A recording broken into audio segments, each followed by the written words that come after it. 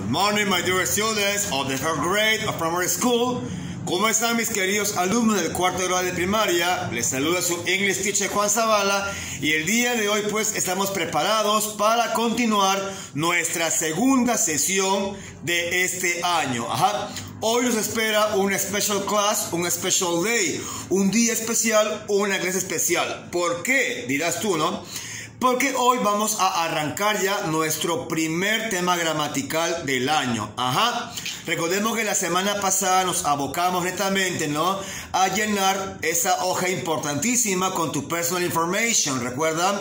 Habíamos llenado ahí algunos datos como tu name, tu nombre, tu age, tu edad y demás. Esa hojita ya sabes, debe estar pegada en tu cuaderno, bien bonito como si fuese una carátula, ¿ok? Asimismo también les entregué su primera canción, la cual me imagino ya deben estar practicándola. Recuerden que siempre en el aula vamos a practicar, pero en tu casa tú ya debes andar avanzándola. Por eso siempre voy a evaluar qué alumnos son los que más destacan en practicar en sus casas, ¿ok? Ya saben, ¿ah? Tu canción se llama It's a Beautiful Day, es un día hermoso, ¿recuerdan? Muy bien, en un momentito vamos a practicar un poquito más las dos primeras estrofas, ¿ok? Bien, hoy vamos a arrancar nuestro primer tema, ¿ok? Que trata acerca, pues, de algo muy importante. Tiene que ver con los adultos, ajá. ¿Qué hacen ellos?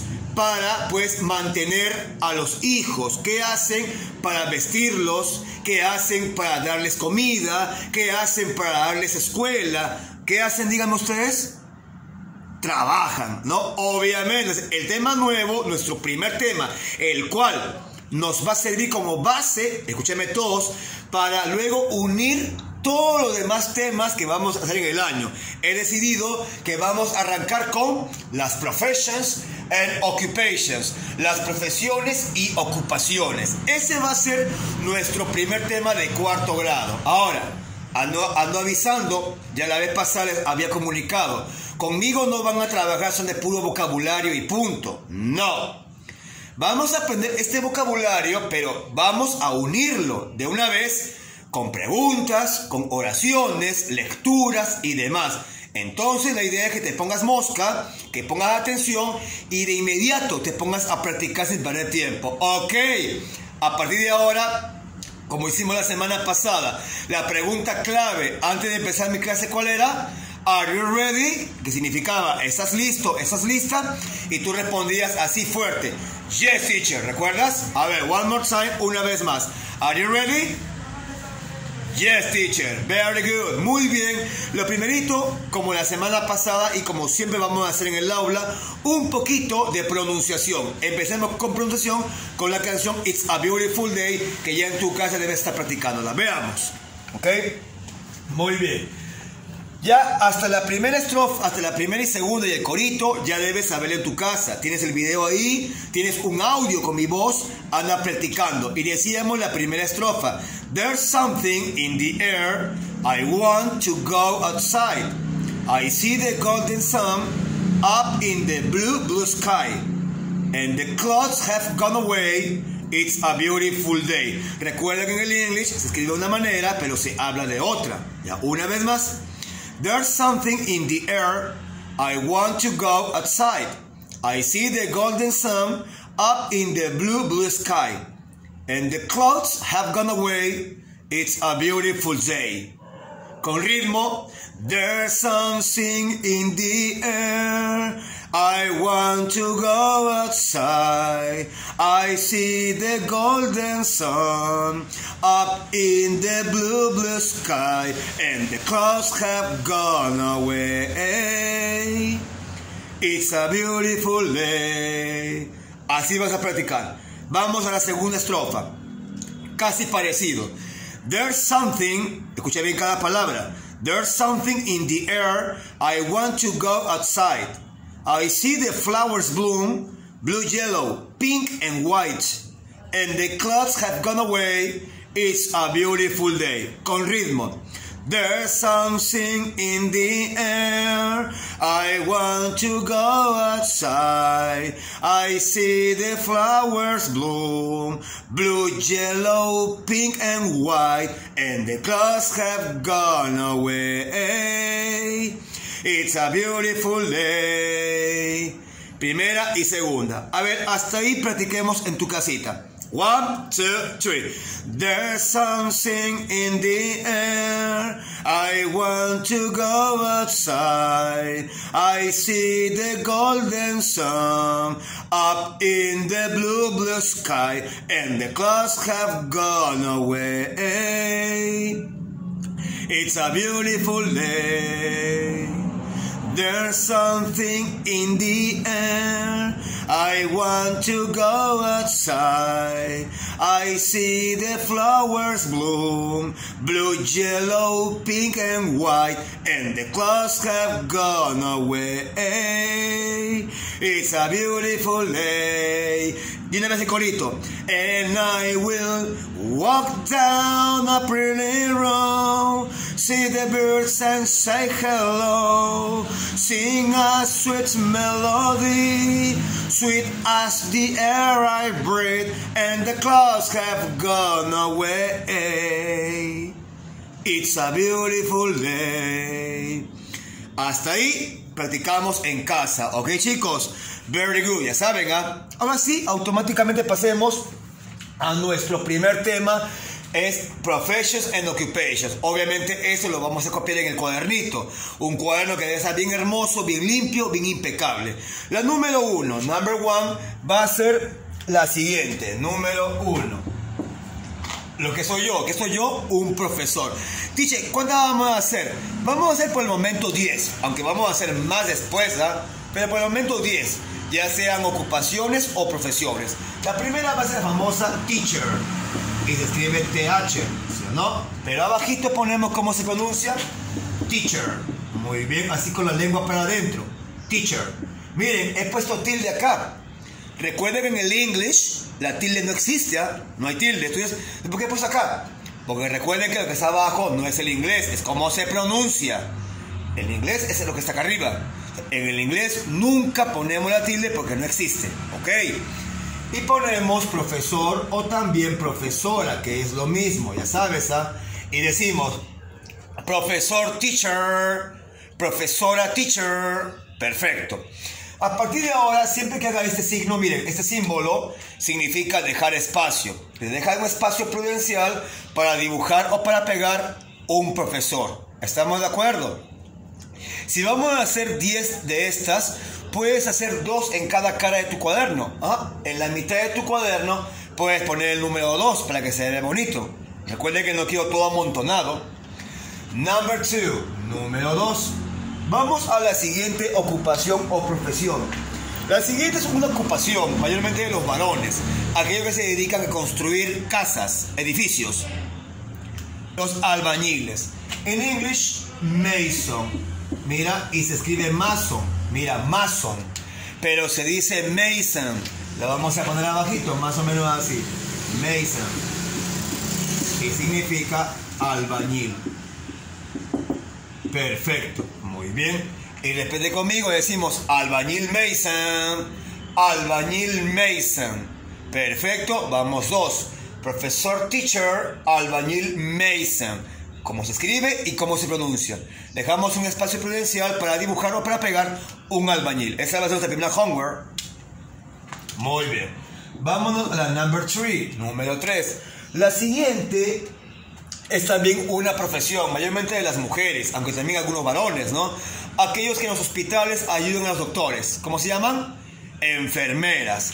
En English su nombre se escribe nurse, mira, nurse, pero no se dice nurse, se dice nurse. Por eso abajito lo vamos a poner más o menos así, nurse. Una nurse es una enfermera. Perfecto, ponemos y dejamos espacio para dibujar o para pegar una enfermera. Yo estoy haciendo así todo amontonado, pero tú ya sabes que no, tú ya sabes que debes dejar espacio para dibujar o para pegar esas imágenes. Muy bien, el teacher, Mason y nerds. Correcto. Number four, cuarta ocupación o profesión. La siguiente es una ocupación más que nada de los varones, en la fe católica, los que eh, cuidan tu fe y que hacen misa, los sacerdotes. En English se dice priors, pero se escribe se escribe priest, pero se dice priors. Y lo voy a poner abajito, más o menos así, priors, significa sacerdote. Muy bien. Ya está priors, sacerdote. Perfecto, muy bien. Ahí tenemos ya cuatro. Teacher, profesor. Mason, albañil. Nurse, enfermera. Priors, sacerdote. Priors. En tu casa a practicar la pronunciación. Muy bien. Lo voy a poner a un costadito. Tú ya sabes que en otras caras de tu cuaderno, bien bonito. Number 5, número 5. Vámonos ahora con... Es una ocupación, ya sean hombres o mujeres. Aquellas personas que se dedican a criar animales en las granjas. ¿Cómo serán? Los granjeros. Obviamente, en English le llamamos farmer. Mira, farmer. Tal y como suena. Farmer es el granjero o la granjera. Es lo mismo granjero o granjera, una farmer. No voy a poner nada bajito porque se pronuncia igualito. Mira, farmer, farmer. No voy a poner nada. Solamente lo voy a poner en los más difíciles. Acá es igualito farmer, farmer. Y dejamos espacio para dibujar o para pegar a un farmer, un granjero, una granjera. Correcto, very good. El siguiente también es una ocupación de hombres o mujeres. Aquellos que conducen cualquier tipo de vehículos. ¿Cómo se les llama? Choferes. En English su nombre es driver, pero se escribe driver. Mira, driver, pero se dice driver. Acá sí lo voy a poner más o menos así, driver, o sea, el chofer. Perfecto. Un chofer es, o una chofer es un driver. Y repetimos con el teacher, chofer driver, chofer driver. Correcto. Igual dejamos espacio para dibujar o para pegar a un driver o una driver. Ahí puedes dibujar o pegar a una, a una chica, depende, conduciendo una mototaxi, un carro, a un chico conduciendo un camión. Ya tú verás. Number 7. Siguiente ocupación o profesión. La siguiente es una ocupación que aquí en el Perú no es pagable, o sea, no te pagan por hacerlo. En cambio, en otros países como Estados Unidos sí, es una ocupación, es más, en el que ganas mucho dinero es una ocupación bastante peligrosa. Aquellas personas, hombres o mujeres, que se dedican a rescatar a las personas de los incendios, de los accidentes. Me estoy refiriendo a los bomberos. En English, su nombre es firefighter, pero se escribe así, mira, fire, fire fichter. No te comas ninguna letra, pero se dice firefighter. Pongámoslo bajito más o menos así. Fire fighter. Así más o menos. Y significa bombero o también bombera. Es lo mismo. Un firefighter o una firefighter es un bombero o bombera. ¿Estamos de acuerdo? Y como dije hace un momento, aquí en el Perú son voluntarios, porque el Estado no te paga para ser eh, bombero. Lo haces porque quieres ayudar a las personas, ¿ok? Pero es muy peligrosa esa ocupación. Firefighter, bombero. Anda practicando en tu casita. Number 8, número 8. La siguiente es una ocupación más nada de hombres, aquellos que de la madera hacen muebles, los carpinteros. En English, carpenter, pero se escribe carpenter. Acá lo voy a poner, mira, carpenter, pero se dice carpenter, lo voy a poner abajito. Carpenter, ahí está. Y en inglés significa carpintero. Atentos, carpintero. Muy bien, mira. Se escribe carpenter, pero se dice carpenter, con la lengua para adentro en las R's, carpenter. Muy bien, vamos 8. Teacher, mason, nurse, priors, farmer, driver, firefighter, carpenter. Nos faltan dos. Veamos, cambiamos de pizarrita. Y ya sabes que si te has atrasado normal, puedes retroceder el video, no tan fácil. Bien, very good. Ya está. Las dos últimas ocupaciones van a ser las siguientes. Veamos. Number 9, número 9. Ya. La siguiente. ya. Es una ocupación mayormente de la gente que tiene talento, ¿no? Aquellos que cantan, los cantantes. En English se escribe Singer, mira, Singer. Pero se dice Singer, Singer, más o menos así. A ver, lo vamos a poner más o menos así, Singer. Viene ser un cantante, ya sea hombre o ya sea mujer. Aquí en el Perú no se gana mucho, pero en otros países sí, ¿me entiendes? Ganan millones. Muy bien, dejamos espacio para dibujar o para pegar a un o a una singer, un cantante o una cantante, cantante singer. Y por último, por el momento, que son 10, porque vamos a hacer más, es una ocupación para hombres o para mujeres que acá sí, en el Perú y en otros países, ganas muchísimo dinero. ¿Entiendes? Sin estudiar. ¿Cómo se llama a aquellas personas que saben jugar con el balón? Futbolistas. Sí, efectivamente, aquí en el Perú te pagan en dólares y en otros países más todavía. En English le vamos a llamar soccer player y se escribe soccer player. Mira, soccer player. Pero ¿cómo se dice, teacher? Soccer player, pongámoslo bajito. Un o una soccer player es un futbolista. Soccer player. Ahí está. Soccer player o, una soccer player, un futbolista, ya sea hombre o ya sea mujer, es lo mismo. Muy bien. Ahí faltan un montón. Falta el policía, falta el fotógrafo, el mesero, falta el piloto, faltan un montón. Pero por el momento vamos a hacer esos 10 y luego vamos a aumentar más, ¿ok? Bien, un review veloz, veamos. Professions and occupations. Profesor teacher, conmigo practica. Albañil mason. Enfermera nurse. Sacerdote priest. Granjero farmer chofer driver, bombero firefighter, carpintero carpenter, cantante singer, futbolista soccer player, soccer player. Muy bien. Hasta ahí, perfecto, tienes ya nuestro, nuestro primer vocabulario del año. Ahora ya de una vez vamos a empezar a usarlo. ¿Cómo? Con la siguiente lectura interesante que te envié. A todos les envié una lectura, nuestra primera lectura, nuestro primer trabajo de Reading Comprehension, comprensión lectora. Vamos a leer y entender qué dice ahí, usando nuestro vocabulario. Pay attention. Vamos a leer. En esta lectura hablamos acerca de Peter. ¿sí? Peter nos habla acerca de su familia, a qué se dedican su mamá, su papá, su hermana mayor, su tío Paul y sus abuelitos. Ya pongan atención porque en tu casa también vas a practicar conmigo. Dice, Hi, my name is Peter and this is my family. Hola, mi nombre es Peter y esta es mi familia. My father is called Richard and he works in two schools. Mi padre se llama Richard y él trabaja en dos escuelas. ¿Lo ven a Richard? Él es papá. He is an English teacher. He likes to teach English to children. Él es un maestro de inglés. A él le gusta enseñar inglés a los niños. Correcto. ¿Lo ven ahí a Richard? Es un teacher como yo, miren. Ajá, y le gusta enseñar a los niños.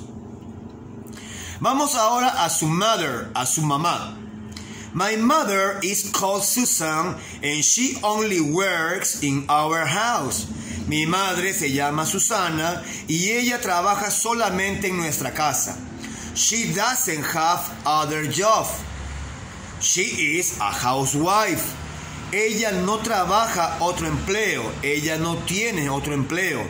Ella es una ama de casa. Housewife. Recordemos que ese housewife, ama de casa, no es tan fácil. Cuidado, ¿ah? También tienen varias cosas que hacer, sino es una ocupación muy importante. Ya lo saben. Vemos que su papá es teacher y su mamá es una housewife. Vamos a su hermana mayor. My major sister is a nurse, a great nurse. Mi hermana mayor es una enfermera, una gran enfermera. She doesn't work in our house, but she does it in a big hospital in Lima. Ella no trabaja en nuestra casa, pero lo hace en un gran hospital de Lima. O sea, miren, ahí la vemos a su hermanita mayor, que es una gran enfermera. Pasamos a su tío Paul. My uncle, de paso aprendemos palabras nuevas. My uncle Paul is a brave firefighter. He works in a very pretty forestation. Mi tío Paul es un valiente bombero. Él trabaja en una muy bonita estación de bomberos, fire station. His job is very dangerous because the fire is his number one enemy. Su empleo es muy peligroso porque el fuego es su enemigo número uno. Y es la verdad, el fuego es el enemigo número uno de los bomberos, ¿no? ¿Cuántos han fallecido por culpa de los incendios, o no? Muy bien. Pasamos por último los abuelitos. For ultimate, I have my grandparents what are farmers. Por último, tengo a mis abuelos que son granjeros, farmers. Vamos a ver qué animales tienen. Atentos. They have many farm animals. For example, donkeys, cows, pigs, bulls, ducks, roosters, hens, and many more. Ellos tienen muchos animales de granja. Por ejemplo, burros, vacas, cerdos, toros, patos, gallos, gallinas y muchos más. Their farm is very big and beautiful. I love to visit their farm. Su granja es muy grande y hermosa. Yo amo visitar su granja. Perfect, very good, listo. Obviamente en el aula vamos a practicar su pronunciación al 100%, pero por el momento con tu color rojo, con tu color azul o plumón azul, color blue, vamos a encerrar las ocupaciones que hemos visto. Por ejemplo, en el papá vamos a encerrar donde dice teacher. Observas, busca. Hemos encerrado su ocupación, es teacher, con azul. En la mamá vamos a encerrar housewife. Ahí búscalo, housewife. Ama de casa. En la hermana mayor vamos a encerrar nurse. Nurse, que es enfermera. Ya, atentos. En el papá, teacher. En la mamá, housewife. En la hermana mayor, nurse. Pasamos al tío Paul. Ahí que encerramos firefighter. ¿Lo ves? Muy bien, firefighter porque es bombero. Y en los abuelitos encerramos donde dice farmers, o sea, granjeros. Farmers, granjeros. Ok, very good chicos. Hasta ahí vamos a llegar el día de hoy en nuestra segunda clase, ¿ok? ¿Qué hemos hecho? In the grammar, en la gramática, hemos arrancado nuestro primer tema llamado Professions and Occupations. Tienes ahí tu primer vocabulario, el nombre de 10 ocupaciones muy importantes. Ya, de una vez grábate de memoria porque vamos a usarlos, ¿ok? Y luego automáticamente hemos hecho Reading Comprehension y Pronunciation, comprensión lectora y pronunciación. ¿Con qué? Con esa pequeña lectura que hemos pues no hecho en este momento, hemos leído, ¿ok? Ahora en tu casa igual vas a leerla a cada rato viendo este video, ¿ok? Recuerden que mis videos no son por gusto. Míralos a cada rato, ¿entiendes? Los alumnos que estuvieron en clase la semana pasada igual lo pueden ver para reforzar lo que hicimos la semana pasada y los que estuvieron de manera virtual en sus casas, más todavía. Recuerden que eso se copia en el cuaderno, ¿ah? Luego voy a indicar en qué momento y de qué manera me van a enviar esas imágenes de las 10 ocupaciones. Ok, did you understand me? He preguntado, ¿me entendieron? Y dicen, yes, teacher. Did you understand me? Yes, teacher. Chicos, hasta ahí llegamos. That is all for today. Thank you very much. Eso es todo por hoy. Muchísimas gracias. Esta semana que viene, atentos al grupo que le toque de manera presencial. Ya saben, deben saber de memoria este vocabulario porque lo vamos a usar. Ahí me voy a dar cuenta qué alumnos son los que destacan más en aprenderse las palabras, en aprender más mi curso y quienes no lo hacen. Ok, very good. Goodbye, children. Y tú me dices goodbye, teacher. Goodbye, children. ¿Sí? Te escuchas acá. Perfecto. Nos vemos, chicos. Cuídense. Bye, bye.